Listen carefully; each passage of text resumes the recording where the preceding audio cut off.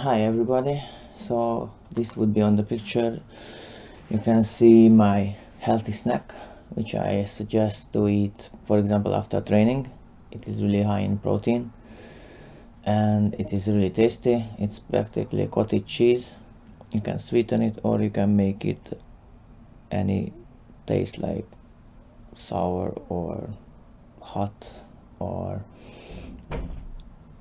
even salty. It's really up to you on these pictures you can see a couple of variations. I usually like to use fruits chocolate even.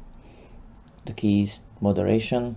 So one piece of little square chocolate won't mess with your diet especially if you use this snack after training. Your body craves carbs anyway and chocolate is a good fast carbohydrate and it has a lot of other beneficial properties just like cottage cheese.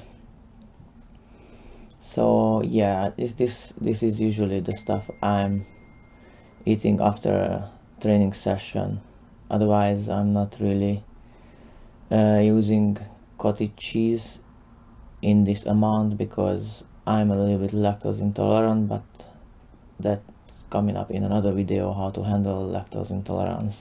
So hope this helps and see you in the next video